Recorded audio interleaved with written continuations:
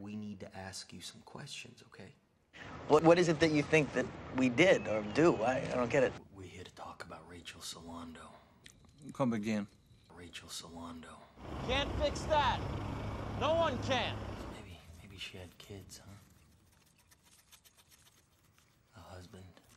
I think it's time you both get the fuck off my boat. You tore her face off, didn't you? Ow! I think that's just about enough out of you. I mean, who the hell do you think you are? No more normal for her, not ever again, no. Do you know what she was afraid of? You. No, no, no. Light. Light is on you, motherfucker. Do You know a patient named Andrew Laeddis? Do you? Fuck you! I'm fucking Addy. Fucking hot shot.